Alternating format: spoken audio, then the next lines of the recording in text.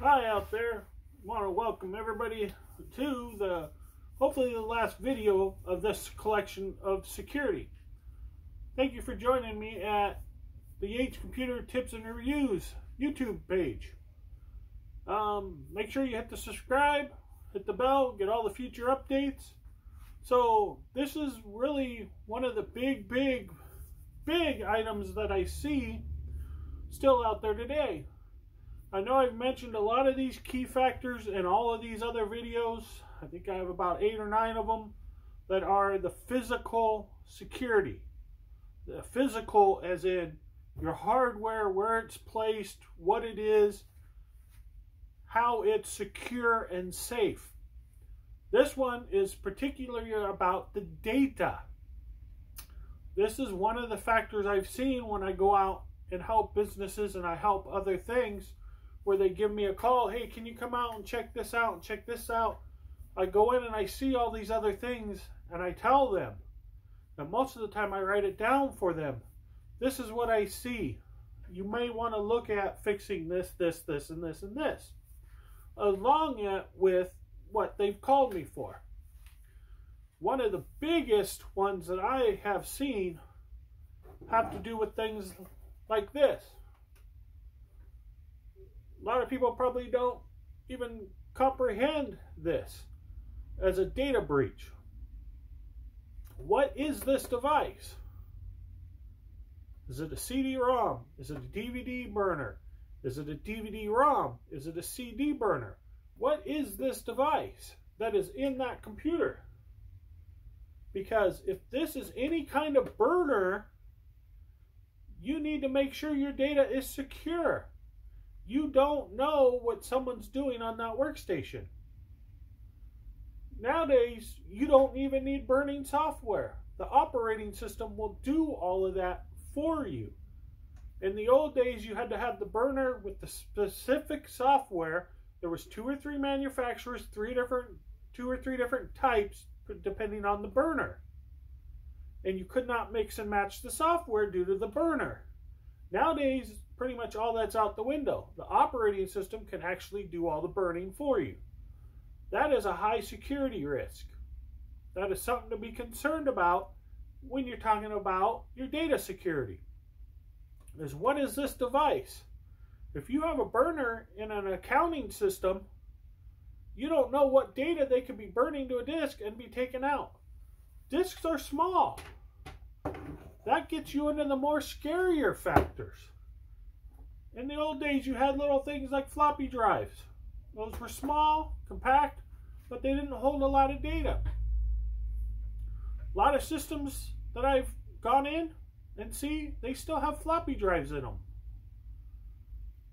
The key security part to that is go in, pull the cables off of them so they're not active. Because depending on the unit, some of them have a bay in there that you can't really interchange. Some of them you can take out and put a panel in, but the panels are hard to find. You can leave the physical device, just unplug it so they can't physically use it. That secures your data. Uh, this is really what you should be using to secure your data. Someone wants to make a copy of something, has the USB cable integrated into it so you don't lose it. It's nice. Go, you plug that in to the computer, transfer whatever data you need to the disk, and then you have that information and you know who's doing what. If you want to get particular, you can log it. You can do all kinds of information. So you have records of what is going on in your business. Who is copying this data? Copying data is really a hard thing to track.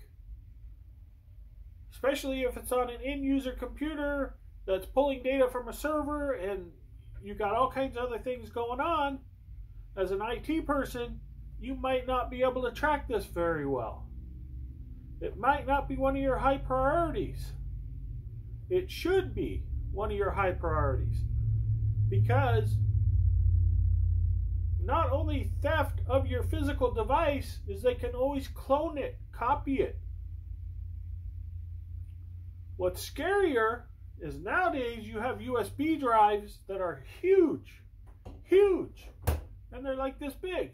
I see them online, they're like the little dongles for the USB. Little tiny, tiny things that anybody can sneak in and plug in. There's features in the motherboard.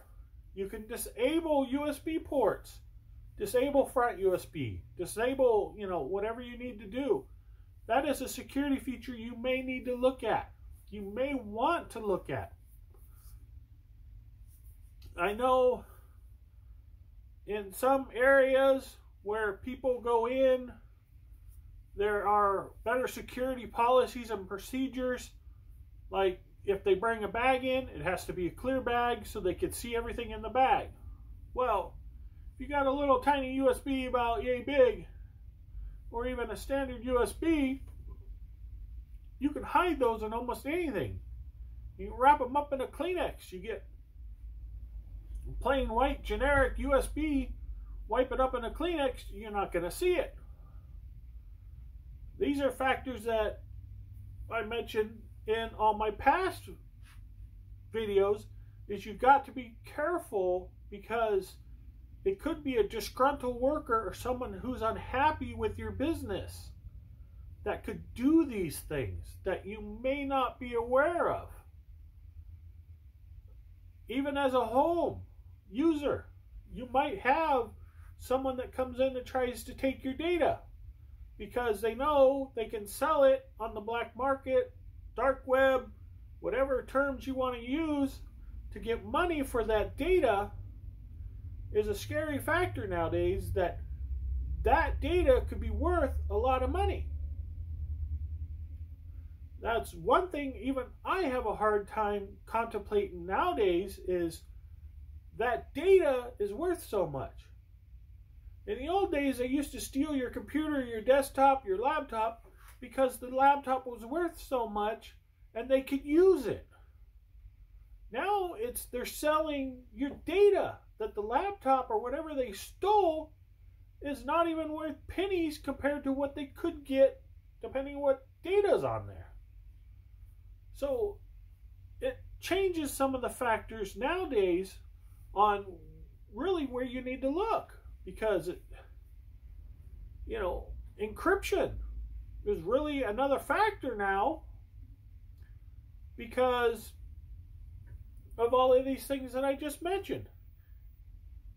You hear about it in government movies, you hear about it in spy things, all these things about how they encrypt their data so other people can't retrieve it, can't see it. These are factors that may end up bleeding or transferring into the home environment due to all of this stuff that's going on. It's crazy out there that where the technology is gone and what they redeem more valuable. So that's what all these videos are about is the physical security. The physical security of your data, your network, all of that is all the same thing. Keeping whatever information you have on this safe. Even servers. Servers are pretty much, some servers are very breachable, especially the new ones. The new ones have the drives in the front with a quick release that are supposed to be hot swappable. So if one goes down, you can pull it out, put a new one in. You don't have to do too much. Scary factor is anybody could go pull that out. That's why I have the other videos talking about where to place those servers, how to place them to keep them secure, to keep that data safe. All of those other videos are referring to this stuff. So this is really the last key part to understand what you are trying to keep secure. Keeping this secure is important because you're keeping this secure. Why is that important? Because you need to keep this secure so you can keep your data secure that's on that. So it's a whole complex domino effect. You need to keep your network secure. You need to keep your router secure. You need to keep your internet secure. You got to keep all those physical devices secure to keep that data secure. I hope that explains all of those videos. So now that you've seen this and hopefully you understand what all of those videos are about, you can go back and re-watch all those videos. Understand that that's how important all of these steps are to keep this secure. Other key factor I brought up, I don't know how well I hammered it in on my backup videos about having it in two physical locations. I've mentioned make a backup of like your photos and stuff and you can keep it, you know, on top of your computer and stuff. That's one thing. Photos are one thing. When you get into your data, tax returns, all the other personal data, secure it. Do not leave that drive laying around. Even though I'm saying that now, you can leave that drive out with your photos because it's easier for you to back up your photos and do other things. But I want to point out the security concern that someone might steal that drive because they think you have your personal info on there. So that makes that drive more valuable to someone to steal, to take, because they think you have something on there that might be valuable to them. So that's why I always say make sure you have that backup in more than one place. Because if someone steals that drive and you can't find it, and you can go out and buy a drive for 40 or 50 bucks to replace it, that's okay. It's only your photos that you already have excuse me on this device that's a backup you have your originals you can clone over copy do what you need to to have another backup in case this drive fails or whatever you need to do you can always have another full backup of all your data and all your photos secure and locked away. Hidden. Someplace someone can't find it. Locked away is always best. That was what all the other videos was about. Explaining how to do these things. The best practices on these things. I know I hammered this in and I hammered it in but I wanted to actually show how this is important. This is securing your data, your info that everybody wants. Later on, I will do end up doing videos on firewalls, your virus scans, all of that data, data protection from the internal sides of the equipment. Switches, firewalls, uh, routers have a lot of these features you can enable. A router may have a firewall in it. The other video I brought up, the wireless. Wireless There's also another possible data breach point. Making sure you have all this stuff secure protects your data the physical, the physical stuff. When we get into configurations, your security passwords, logins, all of these things are very important to securing your data. Um, I don't want to go into two more videos of this, but this one is to make sure you understand the video in between those of my old computer, my first computer to parts.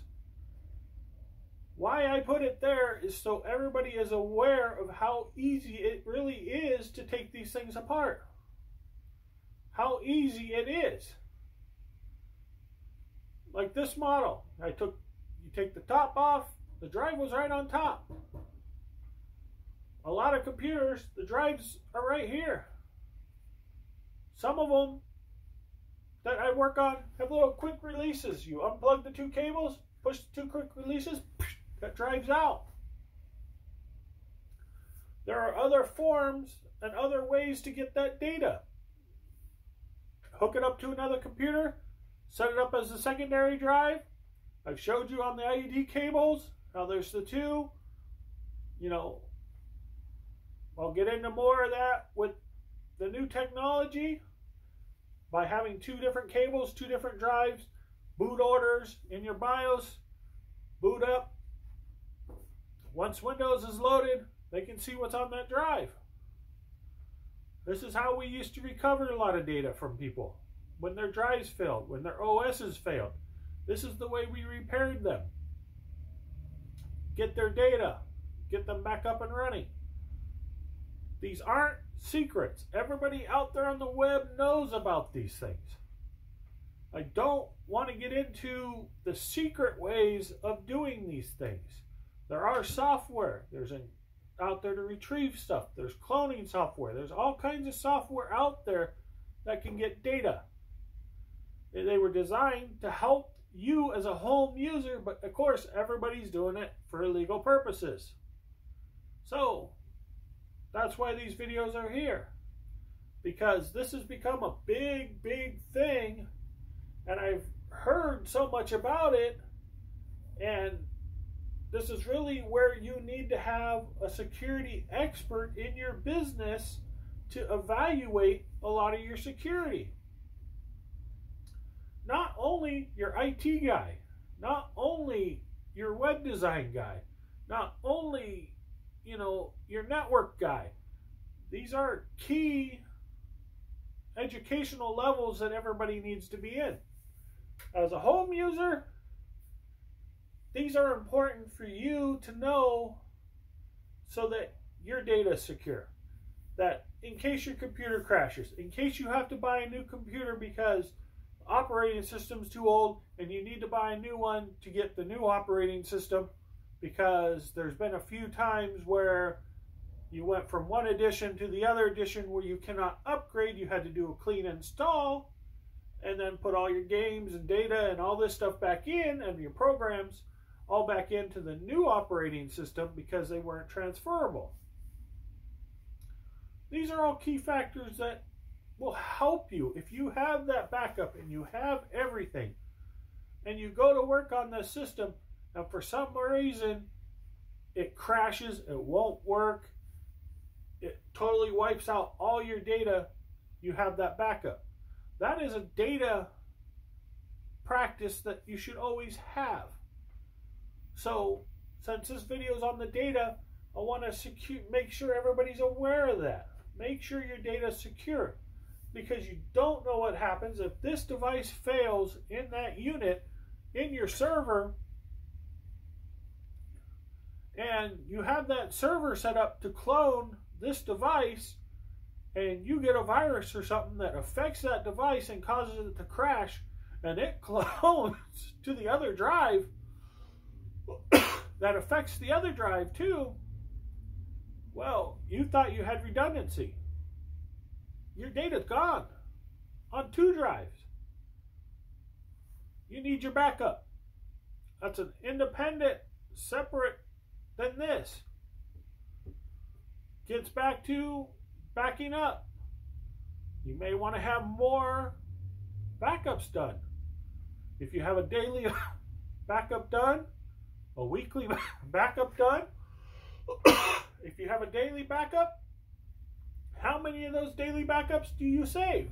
Do you keep one backup of the daily backup? Do you keep two daily daily backups? Do you keep three? Do you keep a week's worth, seven days? Do you keep 14 days? Do you keep 30 days of backups? This is where your data security comes in. Because here's the kicker you get a virus, malware, whatever that affects that drive. When did you get it? When did that go in there? You know when the drive failed. It failed on the 14th of the month. How long did that take for that malware to take effect and do what it needed to do? You may need to recover 30 days to get that system back up.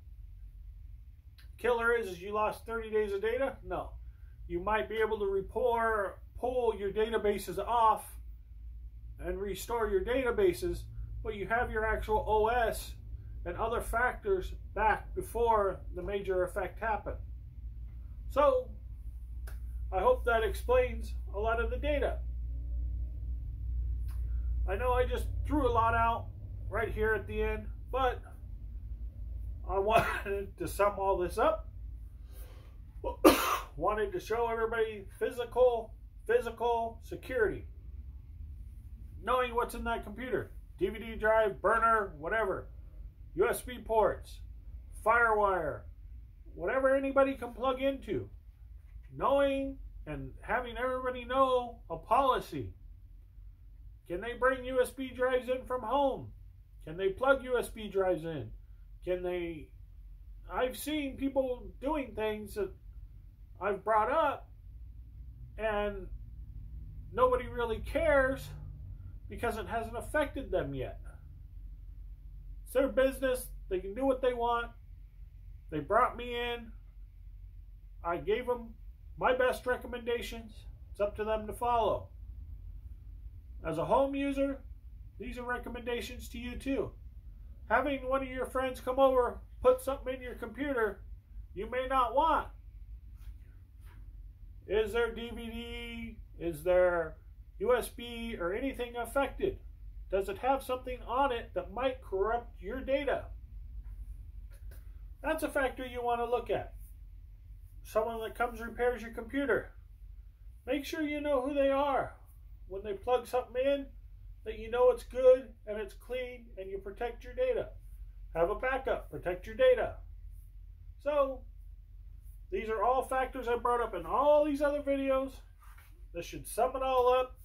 Make sure you hit the subscribe, the bell, you know the deal. Comment. I will have more videos out. I will have some stuff floating around on TikTok. I don't know if anybody's seen it. Referring them here. Got a lot of stuff going on. Trying to get some buzz going. It's up to you. Get the buzz going. Tell your friends. Tell everybody you know. Check out my YouTube. Hit subscribe. Hit the bell. Get